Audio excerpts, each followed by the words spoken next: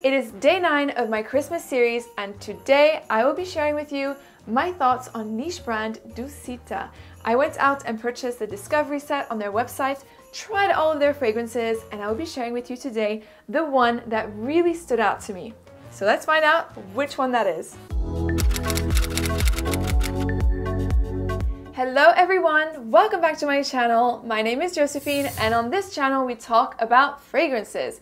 Today, I will be reviewing the beautiful fragrance called Mélodie de l'amour by Dusita. Now, if you're a fan of creamy white florals, this fragrance is for you. So Mélodie de l'amour is this really beautiful white floral fragrance. And when I smelt it for the first time, I was immediately just immersed in this gorgeous, gorgeous fragrance. So in this perfume, you have some gardenia, you have tuberose, there's jasmine, and lots of different white flowers. I believe there may be some musks as well, but this is very much a white floral scent.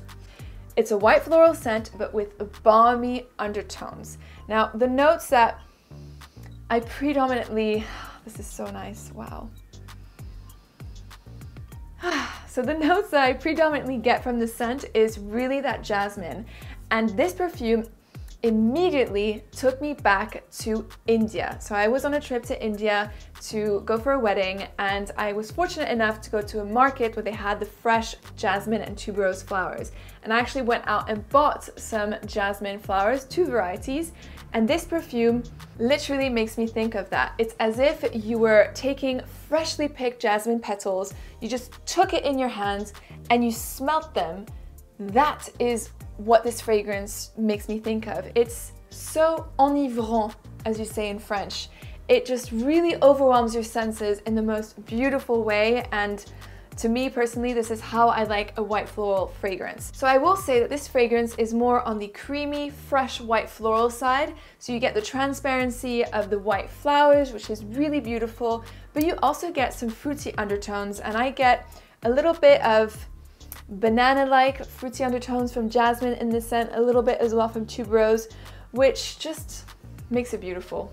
That's all I can say. As the fragrance dries down, you get this balmy feeling from it, this velvety petal effect that is so addictive and ultra feminine. Mélodie de l'amour is a great fragrance to wear during the spring and summertime, so those warmer months because it has that balmy feeling yet remains fresh as well. Now, the only drawback with this scent is the performance.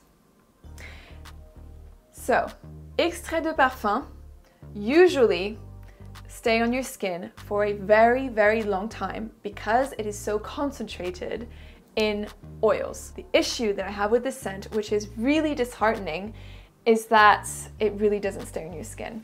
The initial spray is really strong. You're like, oh, this is such an opulent white floral. And it certainly is when you first spray it. But it will dry down in your skin. It's not gonna project like crazy and it doesn't stay. It lasts only around six hours on my skin, which just doesn't work for me. I find it really difficult to justify such a high price point when the fragrance simply doesn't perform, which is such a shame. So if it were me and I had to make a purchase decision, I don't think I would buy this fragrance with my own money. Now, I would love to be gifted this scent, but I would not spend my own money on it. What I recommend you do is that if you find that this fragrance is interesting to you and you think that you may like it, have a look on the website. You can buy samples on the discovery set and see for yourself how it works on your skin because on me it doesn't work, but perhaps on you it does. Perhaps you'll have more luck with the performance than myself. So this was my take on Dusita. I really enjoyed the fragrances from this brand. I think there's a really great selection and I highly recommend you guys get your hands on a discovery set because it is a niche brand for sure that is worth discovering. So thank you so much for watching today's video and I will see you tomorrow in another video. Bye!